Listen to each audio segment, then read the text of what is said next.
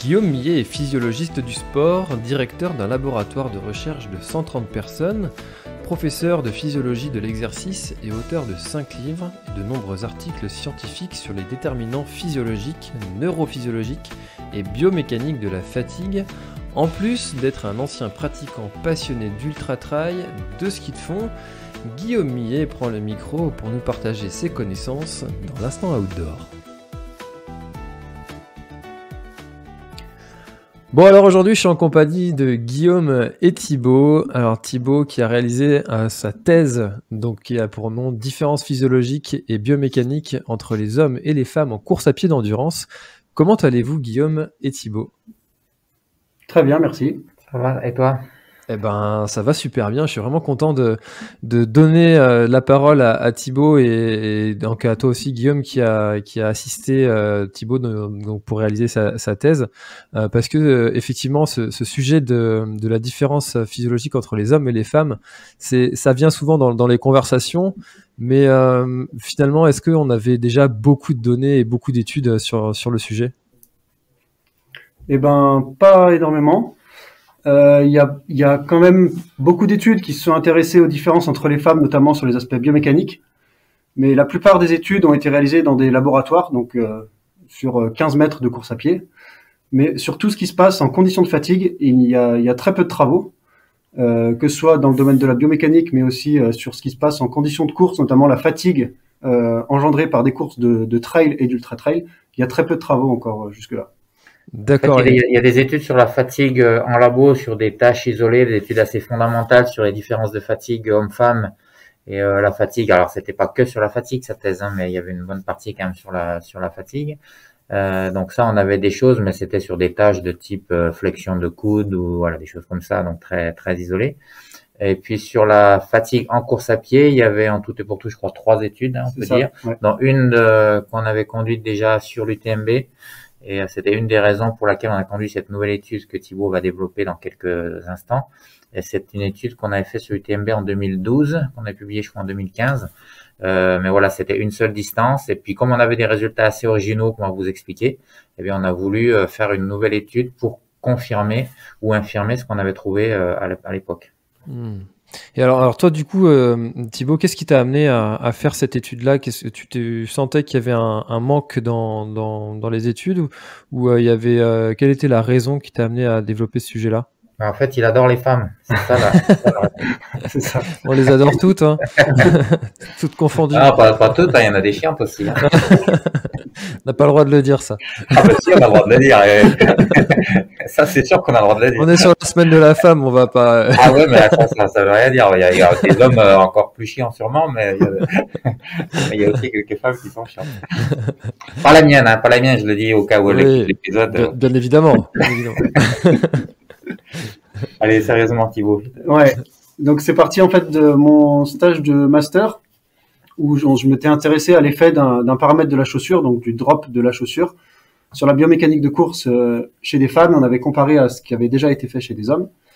Et j'avais aussi réalisé euh, mon stage de master 1 sur tout ce qui était euh, fonction neuromusculaire. Et donc, mon projet de thèse, il est un peu, ça a été un peu un lien entre les deux sur les aspects biomécaniques que j'avais observés entre les hommes et les femmes et sur mes connaissances sur la, la, fonction neuromusculaire et la fatigue neuromusculaire. Et donc, quand Guillaume est revenu à Saint-Etienne euh, pour euh, est revenu à Saint-Etienne, et ben on a décidé de monter ce, ce projet en collaboration avec euh, Jérémy Rossi et du coup euh, aussi avec Cédric Moriot à Decathlon. Donc, il a fait le lien entre biomécanique, euh, physiologie et les différences hommes-femmes. Ouais, malheureusement, Jérémy qui pouvait pas être avec nous aujourd'hui et qui a co-supervisé cette thèse avec moi. D'accord. Et, et, donc, euh, comment, comment a été euh, réalisée l'étude? Ah, Il y a eu plusieurs études. On peut ouais. peut-être euh, détailler un peu chaque, enfin, pas détailler, mais déjà donner les, les, différentes études si tu veux. Ouais. Donc, il y, a eu, ouais, il y a eu plusieurs projets. notamment, on peut commencer, bon, on peut commencer par. Bah, dans l'ordre de ta thèse. Si par, ouais, dans l'ordre de la thèse, on va commencer. On a dans une première étude, on a caractérisé le coureur trail, donc euh, le coureur trail élite et le coureur trail confirmé chez des hommes et des femmes. Donc ça, c'est un projet qui a été fait en collaboration avec l'équipe de France de trail, justement, euh, et la Fédération française d'athlétisme, où on a testé l'équipe de France, donc les hommes et les femmes de l'équipe de France, et on a fait les mêmes mesures chez des coureurs confirmés. Donc ça, ça a été une première étude de, de ma thèse. Ensuite, une deuxième étude, on s'est intéressé à ces trailers, mais ce qui se passe cette fois en condition de fatigue. Donc on a testé des trailers avant une course, à l'UTMB, et après la course. Et en quoi consiste les tests euh, plusieurs, plusieurs distances de course, c'était ça aussi l'originalité. Voilà, de 40 à 170 km. D'accord. Et donc en quoi consistent les tests? Donc sur la première étude, euh, on s'est intéressé surtout à caractériser le coureur sur des aspects de coût énergétique, euh, sur des aspects biomécaniques et des aspects de, force et de puissance. Et sur la, deuxième étude, on a caractérisé la fatigue neuromusculaire. Donc on a mesuré notamment la force euh, produite par les extenseurs du genou et les, fléchisseurs plantaires, donc la cuisse et le mollet, avant et, euh, directement après la course. Donc ils passaient la ligne d'arrivée et tout de suite ils réalisaient les mêmes tests qu'ils avaient réalisés avant la course. D'accord. Et, donc, euh, donc c'est à la suite de, ces études-là, vous avez trouvé des résultats qui étaient significatifs de différence entre les hommes et les femmes? Ouais, alors avant qu'on réponde à ça, effectivement, il y avait une partie, mais peut-être on pourra un peu moins en parler. Il y avait une deuxième partie de la tête qui était de la thèse, pardon, qui était euh, plus sur des choses appliquées à la chaussure notamment, puisque c'était une thèse financée par Decathlon. C'était quand même ça essentiellement qui les intéressait sur le, drop euh, de la chaussure et puis sur la, la raideur euh, de la chaussure également. Mais là, euh, je sais pas si on pourra trop parler de ça. Pour l'instant, ça reste un tout petit peu confidentiel. Bon, c'est pas du secret défense, mais on va plutôt se centrer sur les deux premières études. Ouais. Hmm. Alors, ben, on va commencer peut-être par la première étude. C'était sur les, les différences euh, hommes-femmes, sur la fonction neuromusculaire, le coût énergétique euh, et la puissance des, des, hommes et des femmes, avec des choses qui sont un peu évidentes, puis d'autres peut-être un peu moins. C'est ça. Donc, par exemple, euh, donc première chose, on, s'est intéressé au coût énergétique. Donc, pour revenir un peu sur ce qu'est le coût énergétique, c'est la consommation d'oxygène pour courir à une, une, à une certaine vitesse. Donc, c'est plus ou moins comme la voiture. Combien une voiture consomme au 100 km donc euh, on a fait courir les hommes et les femmes euh, sur un tapis roulant pendant 4 minutes, à plat mais aussi en pente, et on a mesuré ce coût énergétique. Et euh, sur le coût énergétique, nous n'avons pas observé de différence significative entre les hommes et les femmes. Donc c'est déjà des choses qui avaient déjà été montrées. il n'y a pas vraiment de consensus, mais la majorité des études montrent qu'il n'y a pas de différence entre les hommes et les femmes sur le coût énergétique. on l'a fait en montée aussi. Pour, voilà. pour être plus spécifique au trail, il n'y avait toujours pas de différence.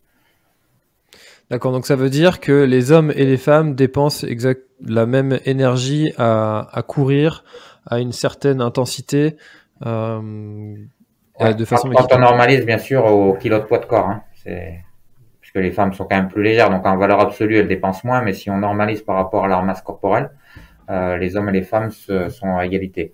Voilà. Et ce qui est intéressant dans cette étude, c'est qu'on a euh, donc pas pas sur l'effet sexe, mais on a observé un effet de niveau c'est-à-dire que les coureurs élites ont un meilleur coût énergétique que les coureurs euh, confirmés. Donc, c'est-à-dire qu'ils dépensent moins d'énergie pour courir à une certaine vitesse par rapport aux coureurs confirmés. Ça, c'est fait entraînement et euh, hommes et femmes confondus, par contre. Là. Voilà. D'accord. Donc, c'est des données auxquelles instinctivement on pourrait s'attendre. C'est ça. Ouais, là-dessus, ouais. Encore que sur l'effet de l'entraînement, aussi, il y avait cette première étude là-dessus. Euh, mais en tout cas sur des trailers, euh, pareil, c'était pas, c'était pas qu'il y avait des choses sur les coureurs sur route, mais sur les trailers, c'est qu'on a confirmé ça, si tu veux, sur des trailers.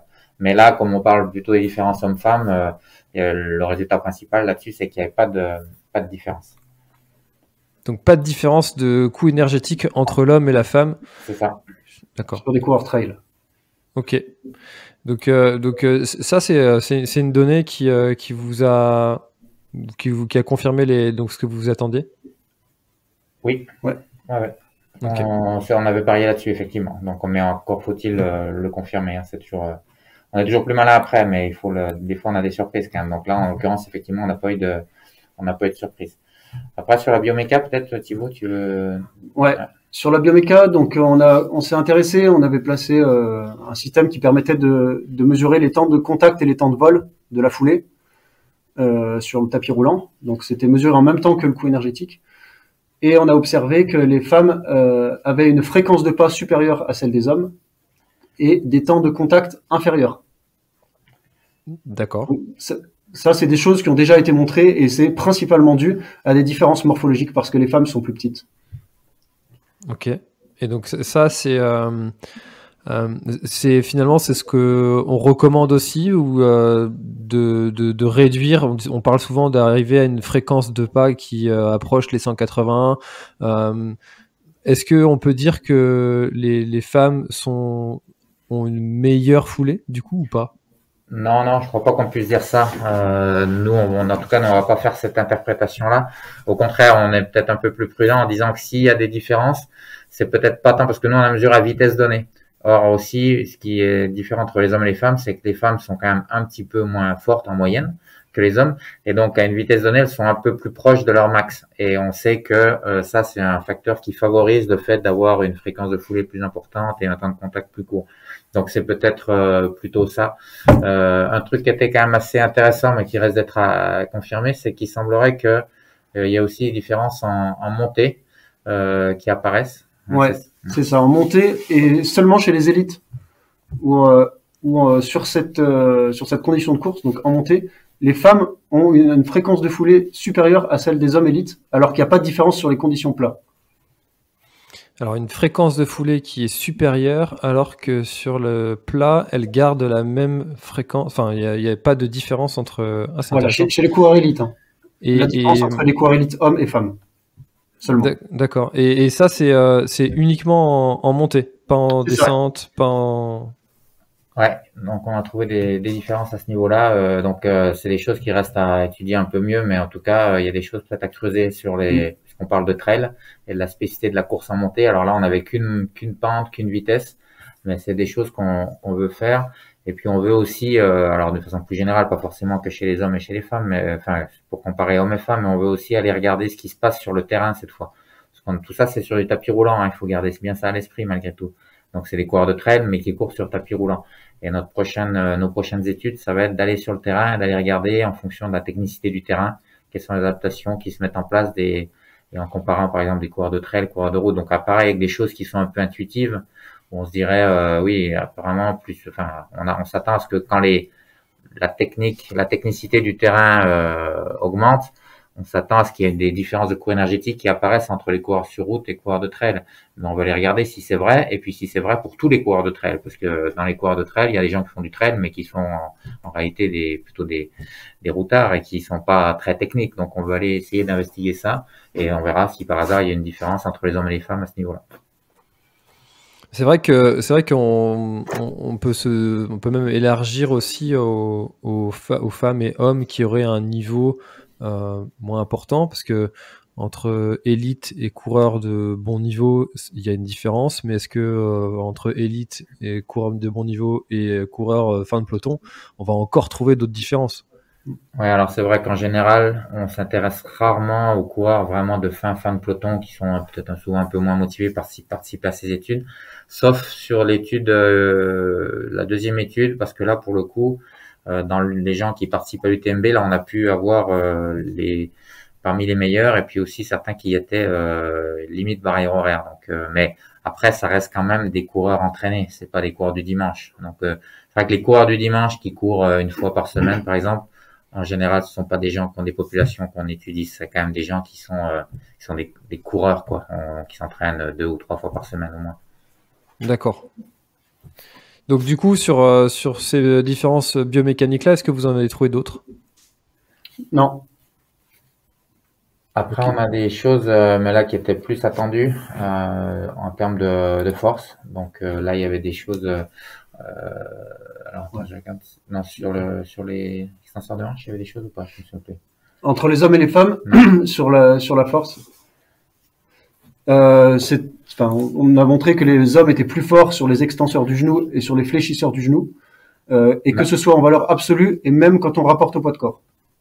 Mais ça, c'est pareil, ça, c'est des choses qu'on attendait. On a mesuré la puissance, pareil, on attendait des différences, on les a, on les a retrouvées.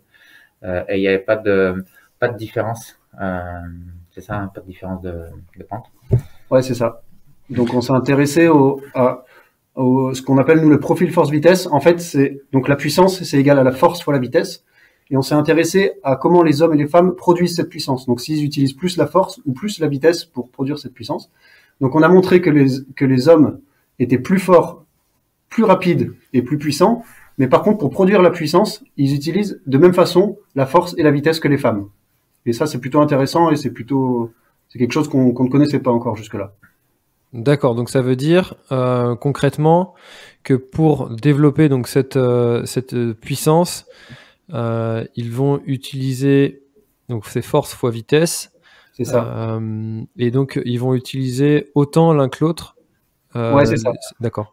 Et alors, ce qui est intéressant surtout, là c'est bon, alors ça tombe mal pour le podcast qui est sur les différences hommes-femmes, c'est que là il y a des différences aussi entre les élites et les coureurs expérimentés tu veux commenter, Thibaut Parce que ça, ça, pour le coup, c'est assez original aussi.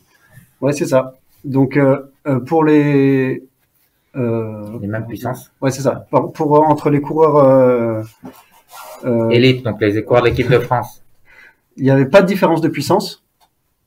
D'accord. Mais cette fois-ci, le profil était différent. Donc, pour développer cette même puissance, la façon de, la méthode pour développer la puissance était différente avec les élites qui utilisaient plus la force par rapport aux coureurs confirmés, donc non élites qui utilisaient plus la vitesse. Alors les non élites utilisent plus la vitesse. Donc si tu veux les, élites, si tu veux un résumé schématisé, euh, les élites sont plus forts mais moins rapides que les coureurs euh, de moindre niveau. Et au final, ça se compense, ce qui fait que la puissance est la même. Et, euh, et ça, c'est valable chez les hommes comme chez les femmes, puisqu'on a pu comparer euh, les deux sexes et euh, les deux niveaux. On avait quatre groupes, d'accord? D'accord. Deux groupes élites, l'équipe de France, hommes-femmes, et on a euh, pris des coureurs régionaux qui étaient quand même des bons coureurs, mais pas des coureurs élites. Et, et donc ils étaient ils étaient plus rapides, mais moins forts. Enfin, plus rapides sur, euh, quand on parle de plus rapide, c'était pas plus rapide entre elles, évidemment, hein, puisque sinon ce serait eux les élites, mais plus rapides sur, euh, sur nos tests de pédalage euh, où on, leur, on les fait sprinter sur vélo.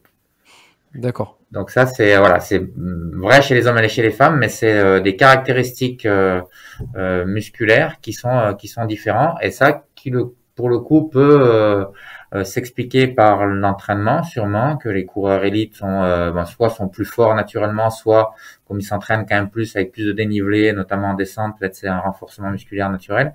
Et ce qui inciterait à conseiller quand même d'intégrer de la musculation, qu'on soit un homme ou une femme, euh, dans son dans son programme d'entraînement?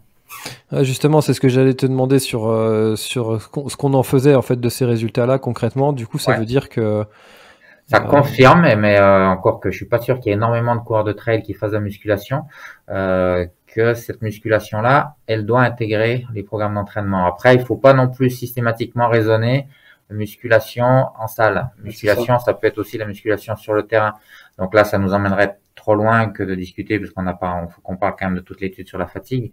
Mais euh, donc on n'ira pas beaucoup plus loin aujourd'hui. Mais en tout cas, on peut s'entraîner en musculation en étant sur le terrain ou en tout cas au moins en partie sur le terrain.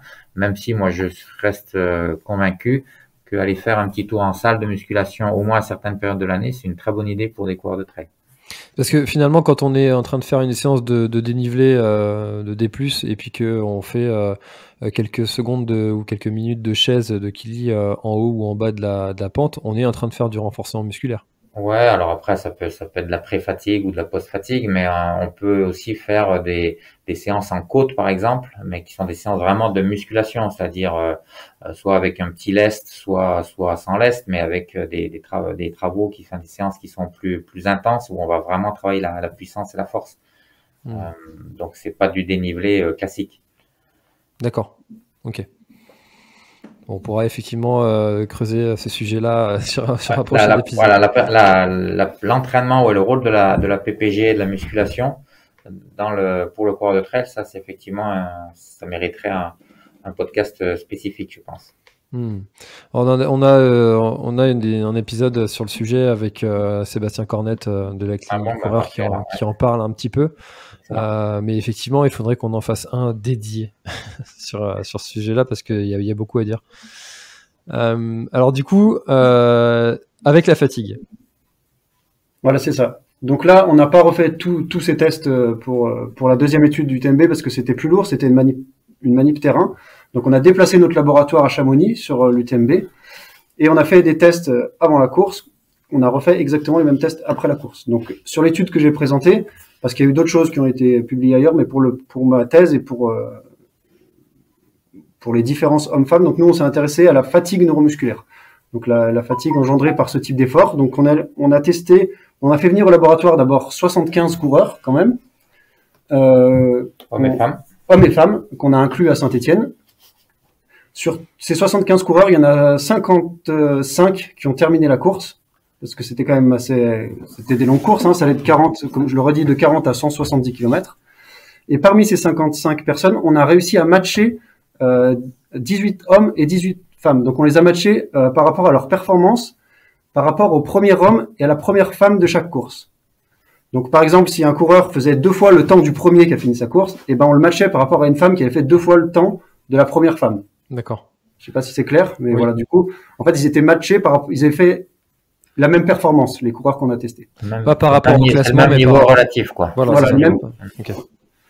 Et donc, on leur a fait des tests de, de, la fonction neuromusculaire. Donc, on a fait des tests de force euh, des quadriceps et des, et des fléchisseurs plantaires, donc les muscles du mollet.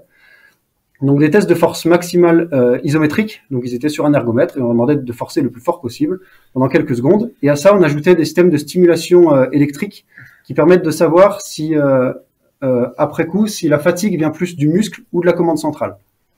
Donc, la commande centrale. Du cerveau. Du cerveau. Bon, c'est pas que le cerveau en réalité, mais le système nerveux, on va dire. D'accord. Et alors, du coup, ces, analyses-là ont montré quels résultats Voilà, donc on a refait donc exactement les mêmes tests après la course et on a, euh, on a eu des résultats donc euh, qui ont la, première étude qui avait été réalisée par, par l'équipe de Guillaume il y a quelques années ont montré que les femmes après 110 km étaient euh, montraient moins de fatigue musculaire que les hommes donc nous, on a testé plusieurs distances pour voir si c'était vrai sur toutes les distances. Notre hypothèse, c'était que on retrouverait ça sur le très long et pas forcément sur le court. Enfin, on était moins sûr sur le court. Donc c'est pour ça qu'on a ajouté, outre le fait, comme je l'ai dit tout à l'heure, de vouloir confirmer nos résultats, on a ajouté l'effet distance, tu vois, avec cette idée de dire les femmes sont super fortes sur, elles arrivent à battre parfois les hommes sur le très long, etc même si c'est souvent plus du domaine de l'anecdote que, que d'autre chose, mais en tout cas, il y a quand même cette idée un peu dans l'air que oui, les femmes sont très fortes sur le très long. Et donc, on s'était dit, bon, voilà, on parie sur le fait qu'on aura des femmes moins fatiguées sur le long, euh, pas forcément sur le court. Et en fait. Et en fait, c'est plutôt l'inverse. C'est complètement l'inverse. On a pas complètement. Pas complètement, mais on a sur les, les distances courtes, euh, on a on a retrouvé les mêmes choses qui avaient été observées chez dans l'ancienne étude. C'est-à-dire que les femmes présentaient moins de fatigue euh, au niveau musculaire sur les courses courtes, mais c'était pas le cas sur le long. Par contre, indépendamment de la distance, les femmes présentaient en général moins de fatigue euh, neuromusculaire que les hommes, donc c'est-à-dire qu'elles ont perdu moins de force que les hommes euh, après les courses. Donc, quelle que soit la distance. Et ça, c'est notre définition de la fatigabilité, de la fatigue. C'est-à-dire, si tu perds de la force, tu es plus fatigué.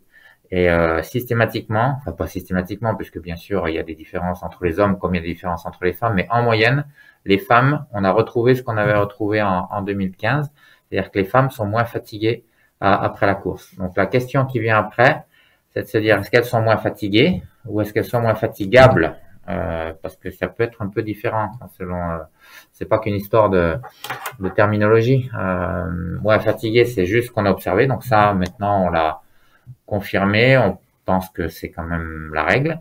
Euh, mais on a ajouté une petite mesure euh, qui était un peu anecdotique au départ et qui finalement a, son importance. Ouais, c'est ça.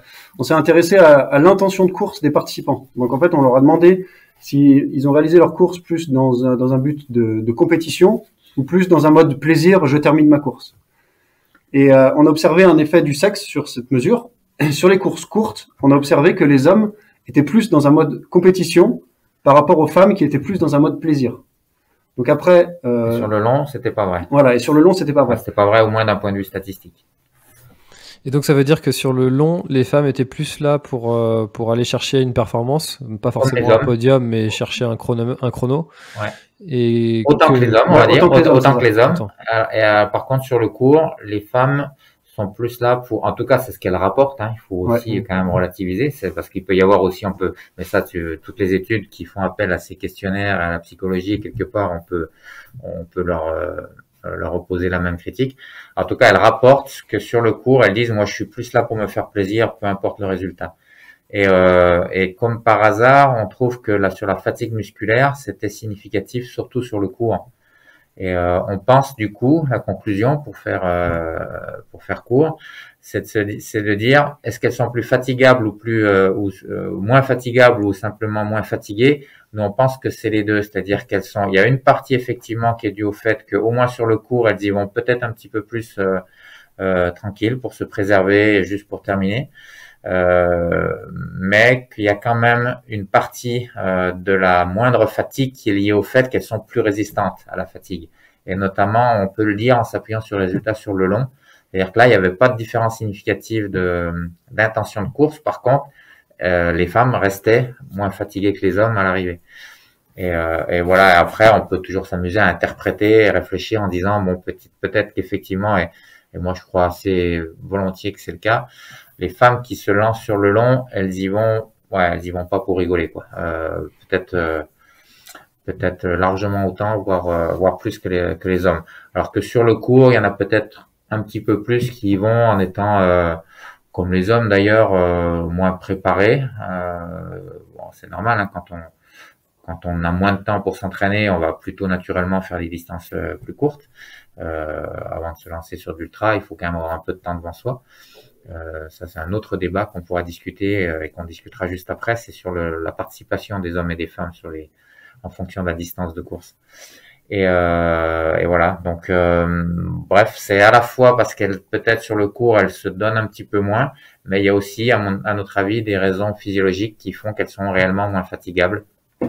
Et ça, ça peut s'expliquer notamment parce que les femmes ont euh, plus de fibres de type lent, donc plus de fibres qui sont fatigue résistantes euh, résistante à la fatigue, plus de capacité à utiliser les, lipides à l'effort. Donc ça, ça pourrait aussi participer à, à, la moindre fatigue. Et puis, euh, certaines études un peu indirectes sur l'animal ont montré que euh, peut-être elle serait un petit peu moins susceptible aux euh, sensible aux dommages musculaires qui arrivent notamment sur le long, quoi, avec le dénivelé négatif. alors, est-ce que tu peux revenir sur la, la différence entre fatigué et fatigable?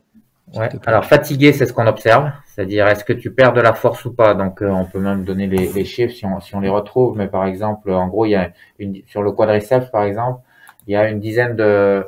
Euh, si on prend tout mélangé, euh, il y a les, les femmes perdaient 27% de force en moyenne et les hommes 36%. Donc elles perdent moins, elles sont moins fatiguées. Mais si si on part du principe que les femmes se donnaient moins, bah oui, on peut expliquer par ça qu'elles sont moins fatiguées, puisque si tu fais moins d'efforts, même s'il faut faire la même distance, au total elles ont fait la même distance, mais si tu la fais en étant un petit peu plus cool, il y a effectivement des chances que tu sois moins fatigué à l'arrivée. Oui. Donc dans ce cas-là, si c'était le cas, mais encore une fois, on pense que c'est pas vrai, euh, ça explique pas tout, mais admettons que ce soit le cas, bah, elle serait moins fatiguée, mais pas moins fatigable. Si tout, ah, est, tout, est, tout est une question d'intention de course et de psychologie. Est-ce que c'est est-ce que c'est plus clair Je comprends. Et nous, on pense que c'est les deux. C'est qu'effectivement, il y a une partie c'est l'intention de course et une partie c'est réellement une résistance à la fatigue intrinsèquement meilleure chez les femmes que chez les hommes pour les raisons que je viens d'exprimer. D'accord. Ok, c'est plus clair pour moi. Donc ça veut dire que euh, s'il y avait une, une, intensité de course qui serait euh, similaire entre euh, un homme et une femme, on aurait quand même ces, ces quelques différences que tu expliquais, euh, mais moins, un peu moins. Alors attention parce que l'intensité, alors ça c'est le dernier point que je voulais ajouter. On a quand même, alors c'est pas parfait non plus, mais on a pris la, peine de vérifier si en, vitesse de course moyenne sur l'épreuve, euh, si elles étaient, les hommes et les femmes étaient au même pourcentage de leur euh, vitesse maximale aérobie. Et la réponse est oui. Donc c'est pour ça que je disais que dans les questionnaires, elles disent moi j'y vais un peu pour être coolos. Euh, sur le cours, euh, peut-être que c'est juste qu'elle veut, elle prétend ça, et puis peut-être que la réalité elle est un peu différente. Donc euh, voilà, tout ça est un peu compliqué, mais cet, élément-là, il est important à mentionner quand même. C'est-à-dire que oui, elles disent qu'elles y vont un peu plus cool. Est-ce que c'est réellement ce qui se passe? On n'est pas non plus certain. Bref, dans tous les cas, ça va quand même plutôt dans le sens de dire oui, elles sont quand même plus résistantes à la fatigue. Ça, c'est une question qui a été posée avant le départ? Non, juste après la course. Juste après, d'accord. Ah oui, pour savoir comment est-ce qu'elle l'avait vécu euh, pendant la course, pour euh, savoir. Euh, si après, ça c'est nous, on est des physiologistes. On, a fait ça parce qu'on pense que voilà, on est intéressé à, à l'aspect un peu global des choses. si on veut faire son malin, on dit une approche holistique. et donc, mais en vérité, c'est qu'il faudrait qu'on travaille avec des gens dont c'est vraiment le métier pour interroger un peu la, la psychologie et notamment la psychologie de l'homme et de la femme là par rapport à l'approche compétition. Et c'est quelque chose sûrement qu'on fera dans le futur, mais bon, pour l'instant, on se contentera de ce qu'on a, qui est déjà pas mal. Donc finalement, cette, euh, cette euh, je vais pas dire légende urbaine, mais presque, euh, disant que si on devait faire des courses de plus en plus longues, finalement la, la femme serait meilleure que, que l'homme sur ces distances-là, ça ne se vérifie pas sur, sur vos études. Bah, on n'a pas posé cette question-là, nous. On n'a pas examiné l'effet de la performance. Euh, c'est là, là, on parle de fatigue uniquement qui compte dans la performance, mais la performance c'est beaucoup plus que ça. Hein.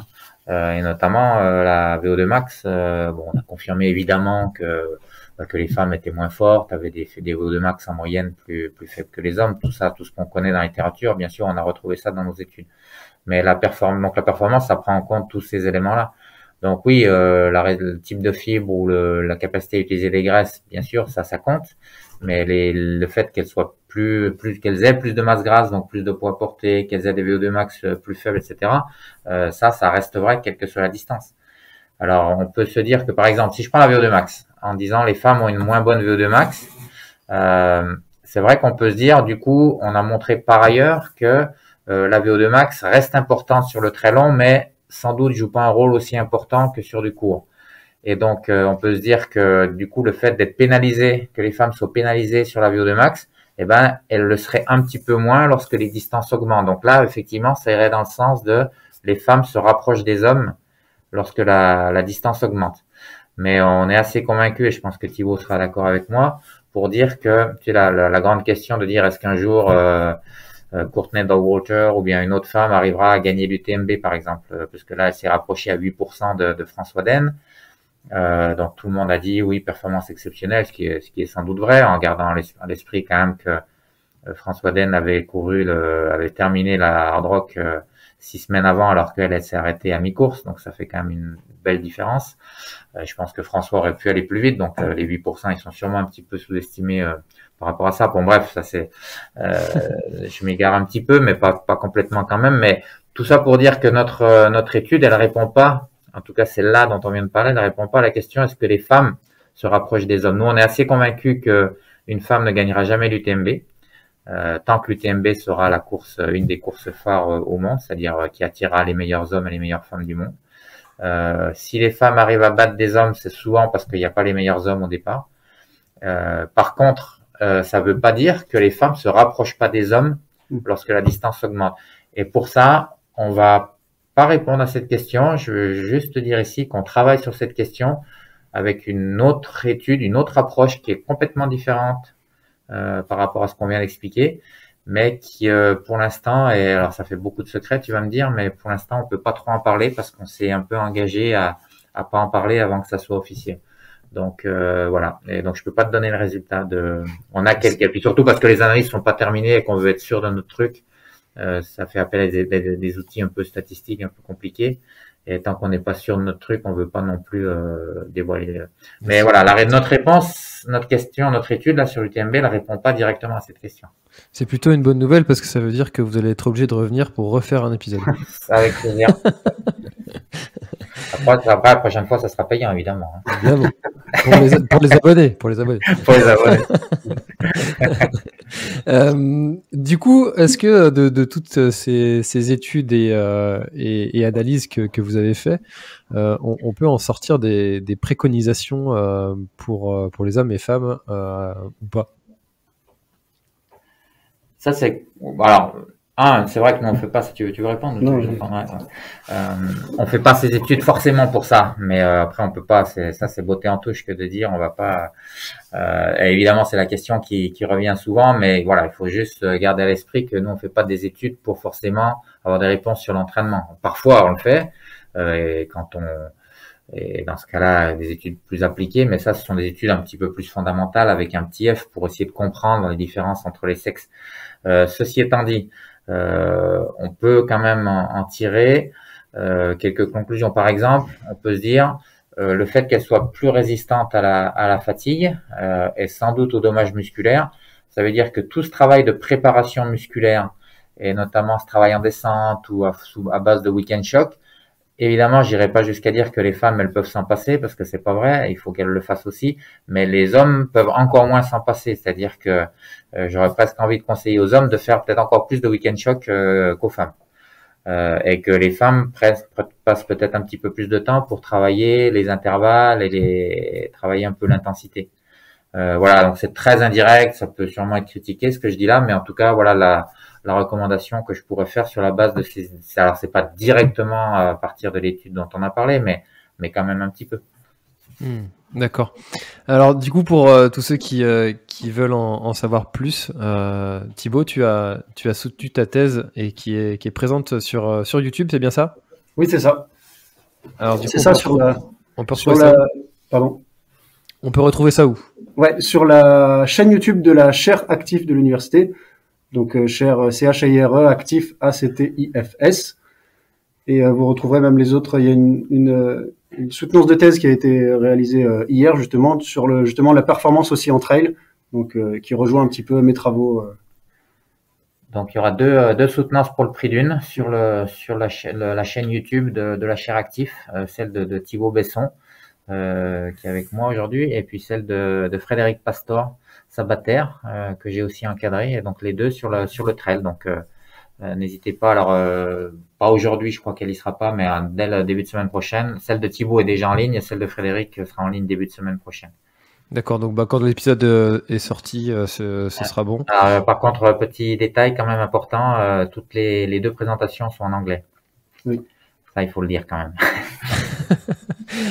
Et les thèses, les thèses, puisque tu as posé la question euh, au début, euh, avant qu'on commence l'émission, les deux, les deux thèses seront euh, disponibles également publiquement dans le fichier national des thèses. je sais même pas exactement comment on y va, mais en tout cas en tapant sur internet, on trouve facilement. Et là aussi, malheureusement, les, les deux thèses sont en anglais.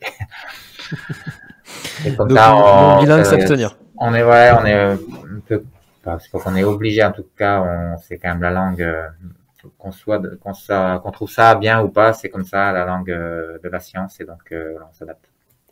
D'accord, bah écoutez, donc du coup pour tous ceux qui veulent en savoir plus euh, sur le sujet et puis en creuser un petit peu dans la thèse de, de Thibaut, eh bien vous retrouverez tous les liens intéressants en description quand, quand tout sera, sera accessible. Est-ce si, que vous... si, je peux me permettre, si, si, vraiment pour les gens qui parlent pas un mot d'anglais ou qui lisent pas l'anglais, euh, je vais, je permets un petit peu d'autopromo si tu l'autorises. Mais bien sûr. Euh, je vais sortir une deuxième édition de, de, mon livre Ultra Trail Plaisir, Performance et Santé, qui est la première édition euh, datée d'il y a il y a dix ans et, et, le livre est épuisé depuis trois ou quatre ans. On me le demande encore euh, relativement souvent.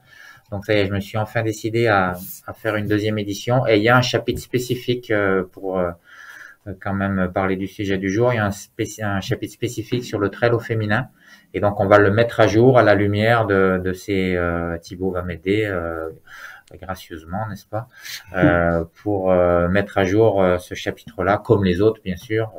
et voilà. Donc, toutes ces données-là seront vulgarisées et figureront dans la deuxième édition de, de mon livre. Qui est prévu de sortir quand? Qui est, j'espère, en mai 2022. D'accord.